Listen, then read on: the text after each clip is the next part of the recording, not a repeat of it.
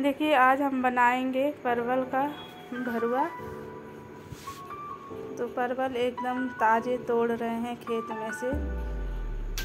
लगा हुआ है, देखिए कितना अच्छा से फर है। और ताज़े का भरुआ बनाएँगे तो बहुत अच्छा और टेस्टी बनता है। कहें कि मुलायम होता है और दुकान से हम लोग मार्केट से लाते हैं तो कई दिन का मार्केट में होता है। तो नहीं, इतना अच्छा से इसे हम लोग को छीलने में परेशानी होती है। और ये घर का है, एकदम ताज़ा। तो इसे छीलने में भी बहुत आराम से ये छिल जाएगा, ऊपर का इसका छिलका। जितना हमको बनाना होगा, उतना ही हम तोड़ेंगे। ज़्यादा नहीं लगा हुआ है इसमें। थोड़ा सा लगाए हैं, उसमें से तोड़ रहे हैं ये।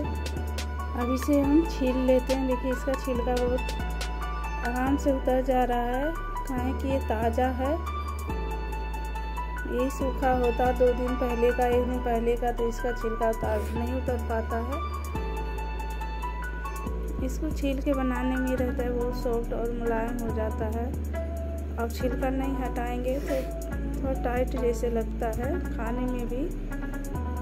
तो इसका हम छिलका सब ऐसे ही जितना हमें बनाना है, उसका उतार लेंगे।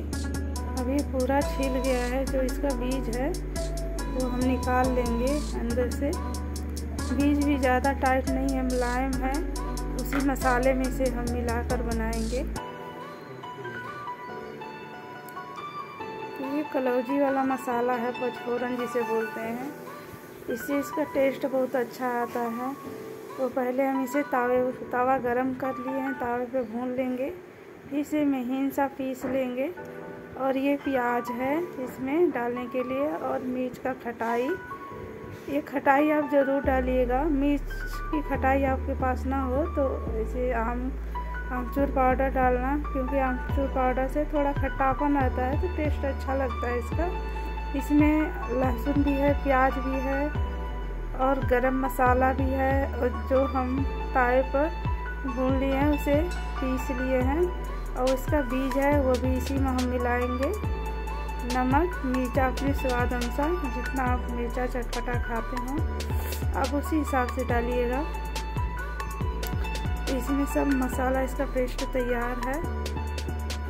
आप चाहे तो इसे प्याज को और मसाले को सब भून के भी बना सकते हैं। तो हम प्याज और लहसुन नहीं भून रहे हैं, इसी तरह बनाएँगे। क्योंकि तो उसमें भी हम भूनते हैं तो पक ही जाता है, तभी हम नहीं भून रहे हैं। इसको इसी तरह हम बनाएँगे। इसे कलौजी भी बोलते हैं भरवा भी बोलते हैं परवल का। आप इसे बनाकर फ्रिज में पंद्रह दिन, बीस दिन, महीना दिन भी रख के आप खा सकते ख़राब नहीं होता है। और नहीं, फ्रिज में नहीं रखना चाहते हैं तो पाँच छः दिन तो बहुत आराम से चलता है, गर्मी के मौसम में भी ख़राब नहीं होता है।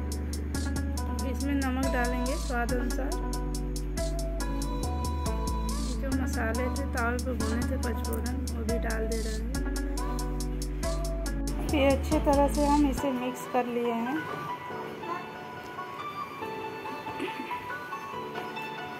अब इसमें हम देखिए, बीज निकाल लिए हैं और मसाले भर देंगे। बीज नहीं निकालेंगे तो जगह नहीं रहेगा। देखिए, हम बीज निकाल दिए हैं तो जगह हो गया है। अब इसमें हम भर देंगे।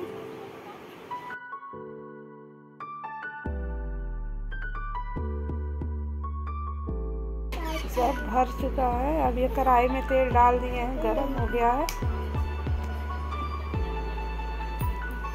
इसे हम स्लो गैस पर ही पकाएँगे। नहीं तो ये जल जाएगा तो ये धीरे धीरे पकता रहेगा। जितना ये परवल है, भरवा अब रख देंगे इसमें हम कढ़ाई में। अब कढ़ाई में हम रख देंगे।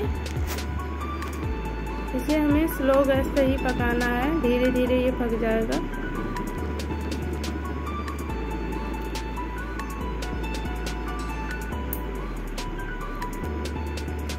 अब इसमें जितना है वो सभी को डाल देंगे कहें कि ज़्यादा है ये परवल। तो हमारी जो कढ़ाई है वो भर जाएगी इसे।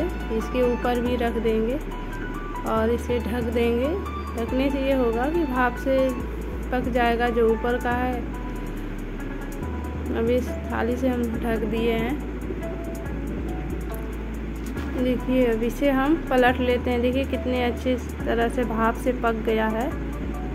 तो इसे पलट के फिर एक बार इसे ढकेंगे। ये और अच्छी तरह से पक जा। देखिए, देखने में ही कितना टेस्टी लग रहा है। और बहुत मुलायम भी है।